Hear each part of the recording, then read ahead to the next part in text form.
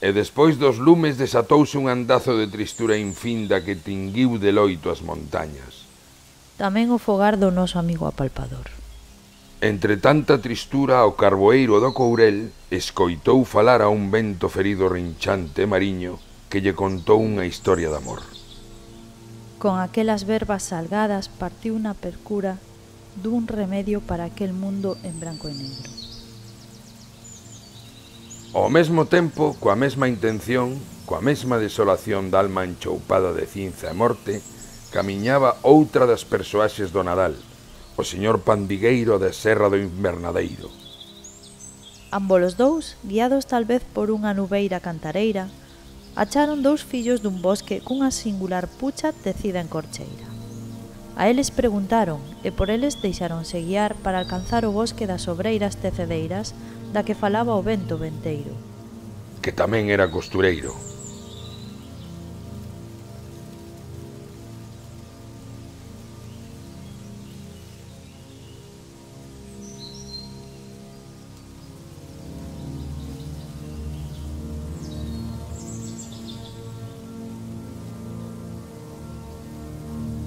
Nas ribeiras do río Arnego descubriron un senfín de árbores con nome de muller que eran quen de coserse a si mesmas, de tecer un abrigo de pele tenrura no seu corpo de madeira para defenderse contra a injustiza. Contra o lume e a tristura.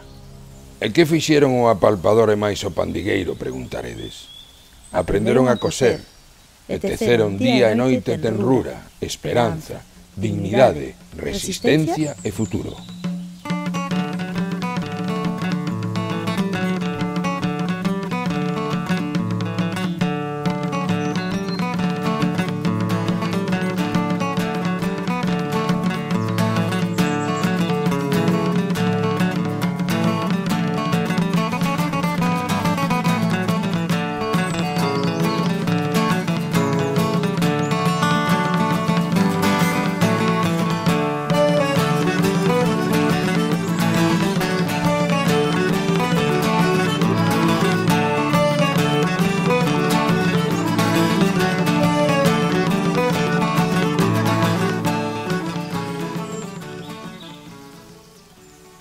E por favor, sabede como remata esta historia.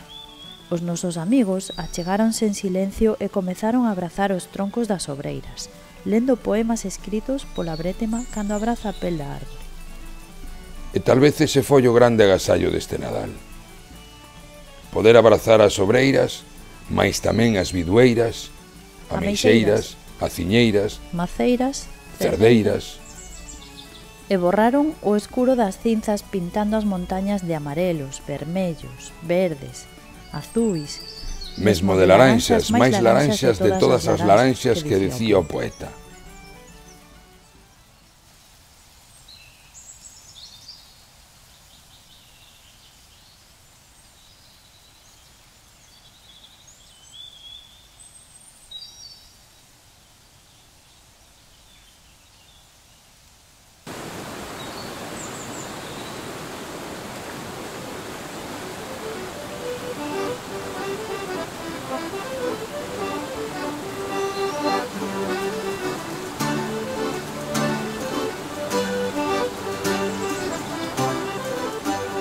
E vos xa sabedes que o mellor agasallo é coñecer as árbores para poder defendelas.